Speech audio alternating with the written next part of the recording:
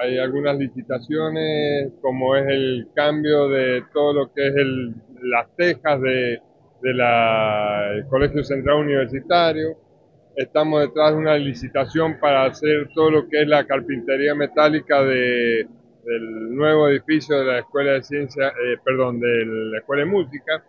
Eh, hay una licitación para hacer adecuaciones eléctricas en la Escuela Industrial y Escuela de Comercio. Estamos trabajando con el GAP.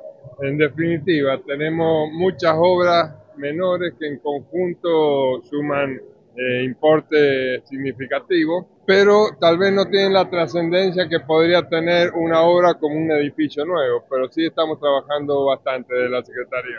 ¿De dónde salió? Estamos trabajando con presupuesto del universitario, por administración.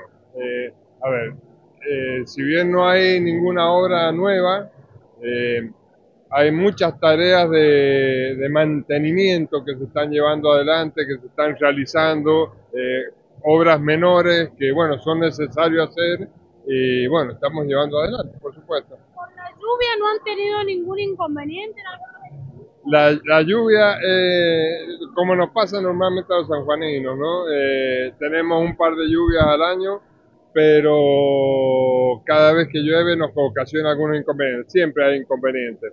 Eh, normalmente esos inconvenientes están relacionados muchas veces con eh, eh, obstrucciones o falta de mantenimiento porque las gárgolas o las descargas de agua no están lo suficientemente limpias y bueno, eh, se producen infiltraciones, pero no, no, no hay inconvenientes mayores por ahora.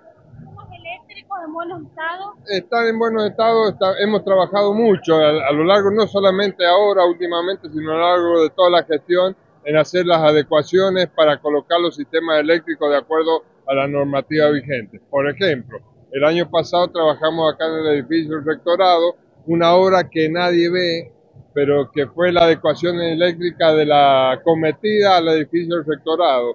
Eh, esa cometida tenía, no sé, debe haber tenido de cuando estaba el edificio construido originalmente. Bueno, fue una obra que significó una inversión importante en su momento, pero bueno, era necesario realizar y se realizó. Así como eso, eh, en todos lados, en todos lados. Eh, Sí, el mantenimiento se hace. Dentro de las posibilidades se hace a través del sistema de administración, con fondos propios de la universidad.